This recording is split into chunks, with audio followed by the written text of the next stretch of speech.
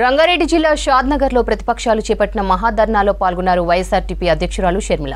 Lakshmidevipalli reservoir నిర్మాణం చేపట్టాలని demand చేస్తూ మహాధర్నా చేస్తున్నాయి ప్రతిపక్షాలు. ధర్నాలో కాంగ్రెస్ సిపిఎం బీఎస్పీ పార్టీల నేతలతో పాటు ప్రొఫెసర్ హరిగోపాల్ పాల్గొన్నారు. లక్ష్మీదేవిపల్లి రిజర్వాయర్ నిర్మాణం చేపట్టే వరకు ధర్నా కొనసాగిస్తామన్నారు ప్రతిపక్ష పార్టీ నేతలు.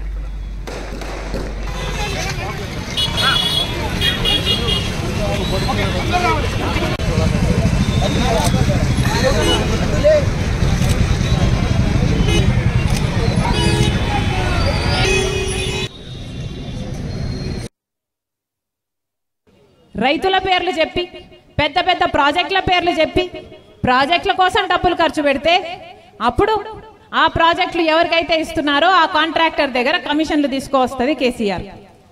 అందుకే కదా పథకాలకు ఏవి డబ్బులు లేవు కానీ ప్రాజెక్టులకు మాత్రం లక్షల కోట్లు ఖర్చు పెడుతున్నాడు కేసీఆర్ గారు.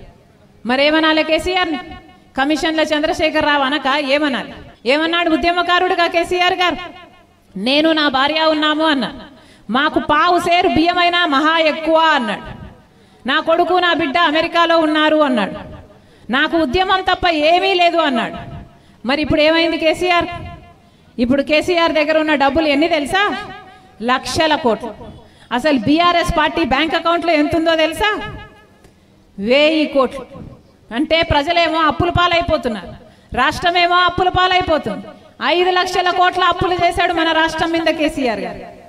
కానీ కేసీఆర్ గారి కొడుకు బిడ్డ కేసీఆర్ గారు కేసీఆర్ గారి పార్టీ మాత్రం అభివృద్ధి చెందుతున్నారు. ఇక ఇక్కడ సరిపోదన్నట్టు మళ్ళీ దేశాల మీద పడ్డాడు కేసీఆర్ గారు. ఇప్పుడు దేశాన్ని ఉద్ధరిస్తాడట. అందుకే చెప్తున్నాం ఆలోచన చేయాల్సిన అవసరం ఉంది.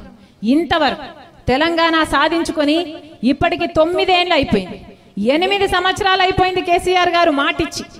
పాలమూరు రంగారెడ్డి ప్రాజెక్టును రెండు సంవత్సరాలలో నలభై ఎనిమిది నెలలు కేసీఆర్ గారు ముఖ్యమంత్రిగా ఉన్నంత కాలం రైతుకు శాపమే.